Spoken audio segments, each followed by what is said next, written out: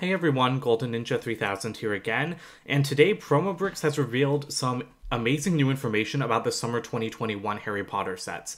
Now, apparently, some of these are going to be for the 20th anniversary of Harry Potter, which makes sense because we are getting an insane number of sets this year, and they're all going to include golden figures like the Ninjago 10th anniversary sets. So set number 76386 is the girls' bathroom, 217 pieces, $20. We get Harry, Ron, Cat, Hermione for the very first time, and a golden Harry Potter. The build is on an 8x16 plate. It includes a toilet and three sinks. They said it's very similar to the Room of Requirement from 2020. And Harry and Ron actually have Crabbe and Goyle printed on the backs of their heads. This set sounds really awesome. Perfect size. I'm glad that Golden Harry comes in the cheapest set. I just really hope that Hermione has a new mold for that cat head.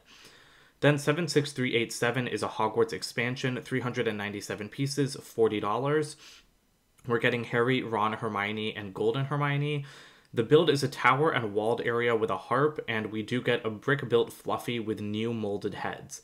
So this is sounding like a direct remake of the old set from like 2001 now, I got that Fluffy figure like separately from my friend in like 2010, and then I ended up buying the set like without Fluffy just like two years ago. I really love that set. To me, it's like one of the best Harry Potter sets, especially like back from that time. So I'm thrilled that we're getting a remake. I really would have preferred a molded Fluffy, but I'm at least happy that it's got new molds for the head because I just don't really love brick built animals, and Harry Potter has not done them particularly well. Looking at like Fawkes and the Basilisk in the Great Hall set from 2018. Then there's 76388 Hogsmeade, 851 pieces, $80.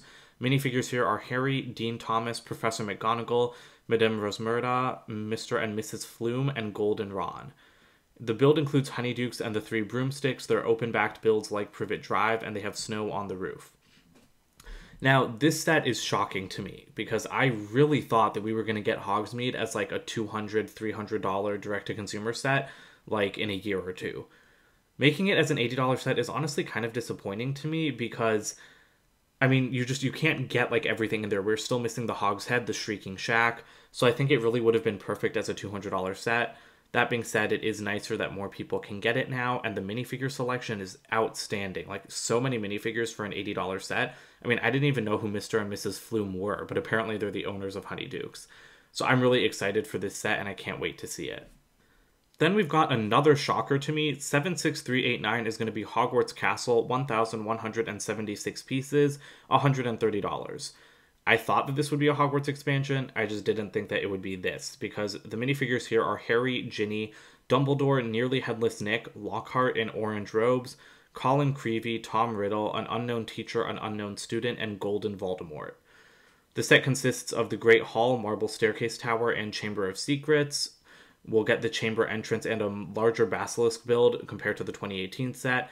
The roof is back to green now instead of gray, and Promobricks did say that the structures here are not anywhere near as detailed as they were in 2018.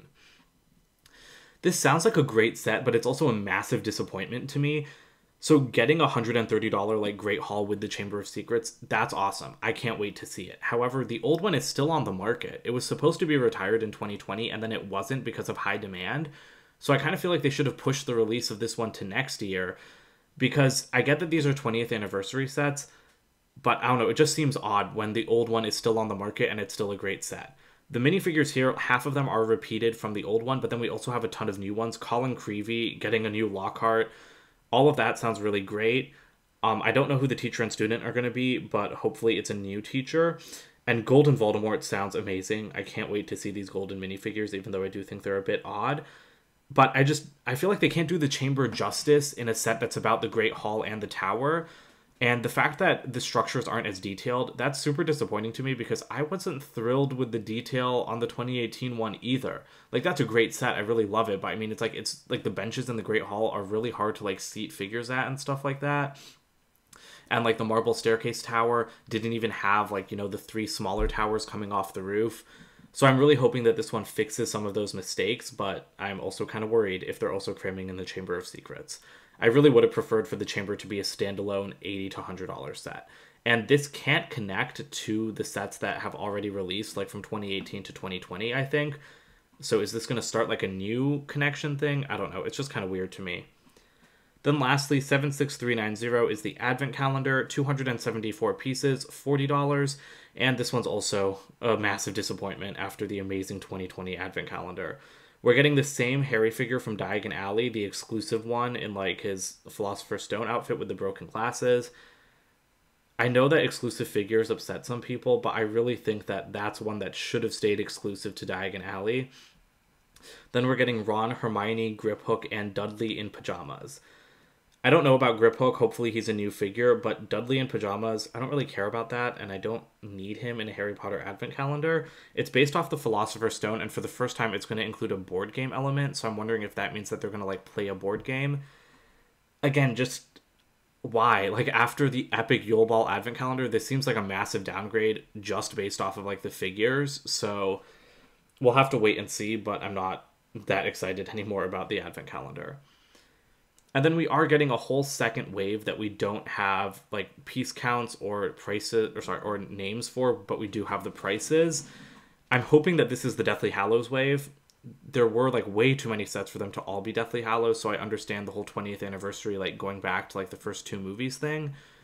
But I really hope these are Deathly Hallows based because I don't want Lego to like restart the Harry Potter theme in 2021. It seems too early.